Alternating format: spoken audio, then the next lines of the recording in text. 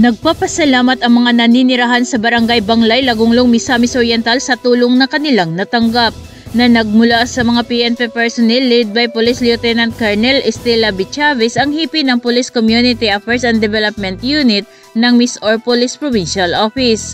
Sa ilalim ng direktang pangangasiwa ni Police Colonel Gonzalo C. Villamor Jr. ang Provincial Director.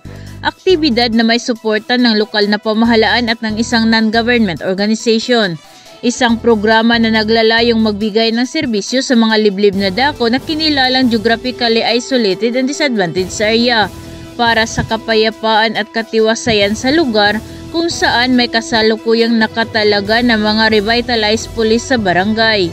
Mga aktibidad na dinaluhan ng mga residente kung saan binigyan ang bawat isa sa kanila ng bigas at bitamina kasama na ang mga gamot habang ang mga bata ay binigyan ng mga gamit pang eskwela at tsinelas kasama na ang pagkain. Laura Pubadura, matatag, matapang, matapat.